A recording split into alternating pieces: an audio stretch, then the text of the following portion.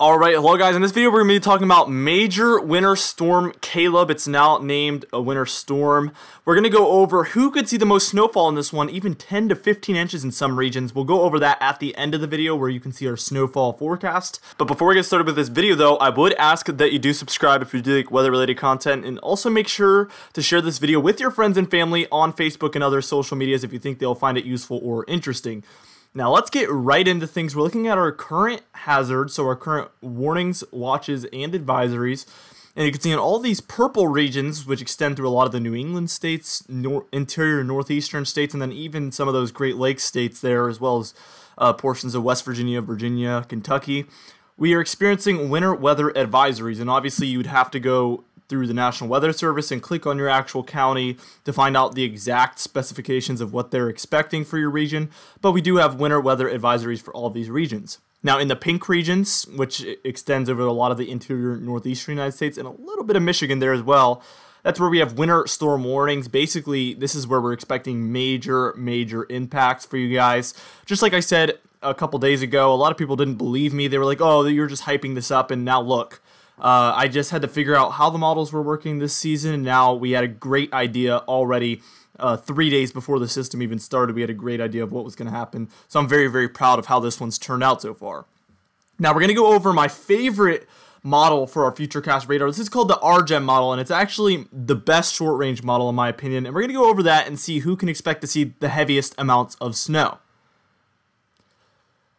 All right, so we're starting things out. We still, as of right about now, have snow mostly occurring for Chicago, Michigan, Wisconsin, and a lot of those central United States regions. We do have snow showers heading into upstate New York and a little bit of New England uh, this morning, but not too much going on quite yet.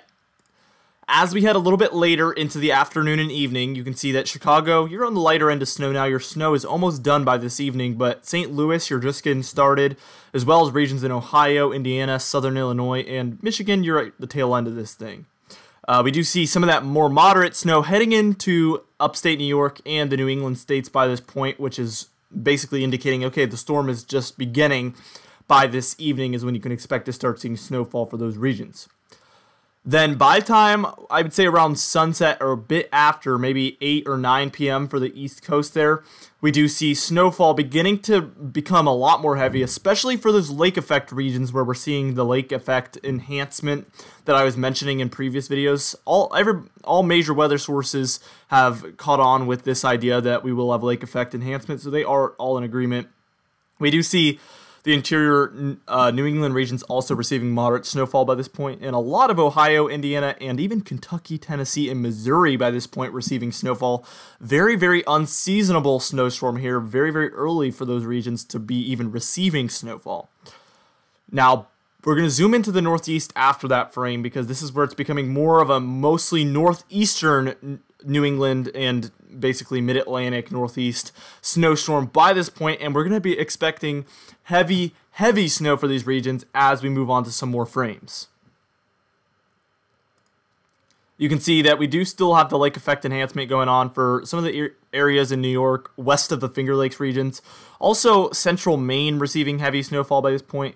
But I also want to point out that Kentucky and Tennessee are receiving some snow, and even central and by this point almost eastern Ohio as well, as well as Erie, Pennsylvania, some of those northwestern regions. We do see a lot of pinks and purples going on for New England. I wanted to point that out. It's an indication that we will be seeing some sleet and freezing rain trying to mix in and mess this one up. Very, very common for this time of year to see that during a snowstorm, obviously, where it's going to have some issues in some of those more southern regions. But we're going to play the course of this model run and just see where you could expect to see snow or not. That was maybe 12 or 1 a.m. on Tuesday the 12th that morning. You can see by, I would say this is probably 3 a.m. We see heavy snow moving into the Adirondacks of New York. Uh, so all of upstate New York getting extreme amounts of moderate to heavy snow for those regions. Also, notice the lake effect snow going on for Michigan. Very, very heavy lake effect bands going on for those regions, as well as Cleveland, Ohio, and a lot of those areas in Ohio that are coastal there along the Great Lakes there. We see moderate to heavy snow for Maine as well. Let's move on to morning time. I would say probably 7 or 8 a.m. on November 12th here, Tuesday. You could see Vermont upstate New York, beginning to see snow. And you can see as we get to the tail end of the system, a lot of the more eastern and southern regions in Pennsylvania, upstate New York, even Virginia, Tennessee, and North Carolina, there, those mountains in the Smoky Mountains are receiving moderate snowfall by this point.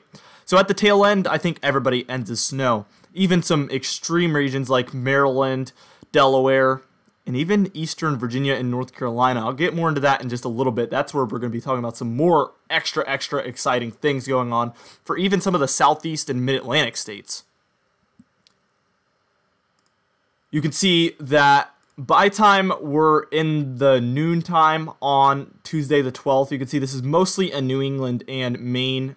Well, I guess Maine isn't New England, but mostly a Maine and then some of those other New England states event upstate New York, still receiving a little bit of snow in the valley there.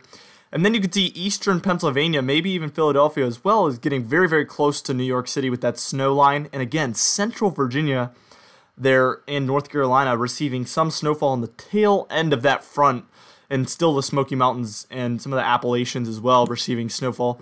But notice all of that lake effect snow for Ohio, Pennsylvania, Michigan, New York. Lake effect snow is going to be very prevalent later on Tuesday and even through Wednesday as well as very, very cold air is going to move over those warm lakes, creating a very exciting scenario that we usually do see start to ramp up in November. So this is very common for the lakes to start getting active. Maybe I would say more common towards late November, so it's a little bit early, but still, this isn't unheard of.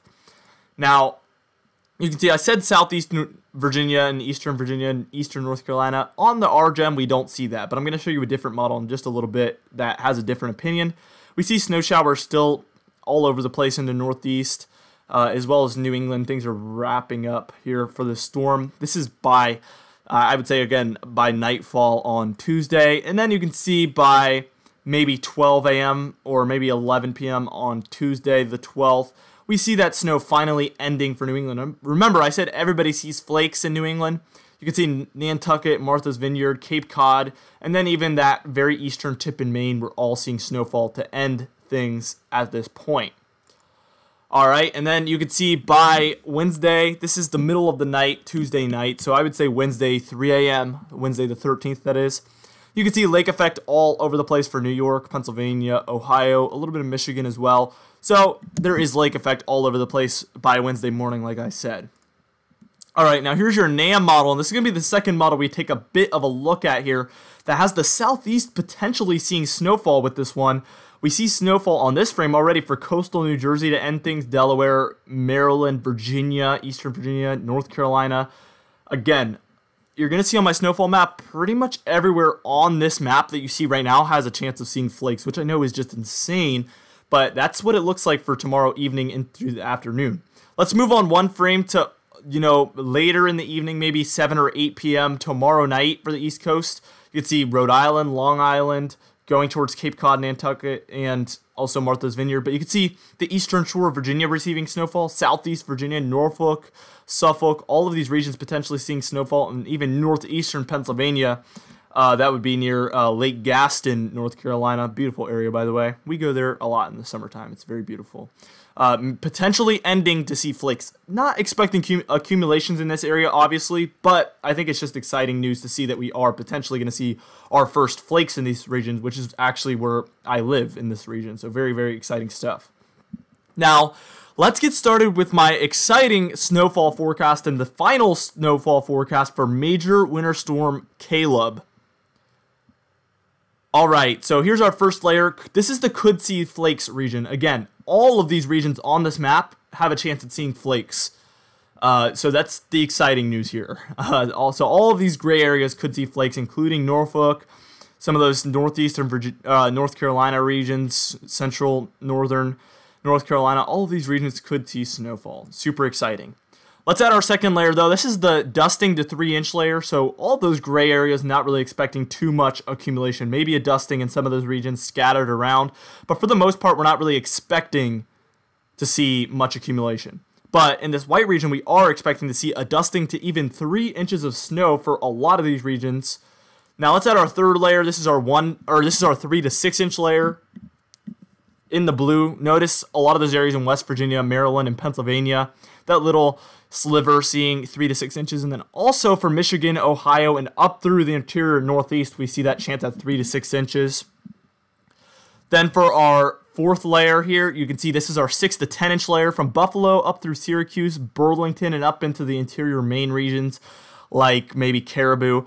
Uh, we see that chance at 6 to 10 inches of snow. And we even have a fifth layer here, which is our 10 to 15 inch layer. So for the Adirondacks, the, the northern Adirondacks, that is, very, very far northern interior Maine, and then even the northern, very northern regions in Vermont, there just to the east of Burlington, which is a very mountainous region, is also expecting to potentially see 10 inches plus.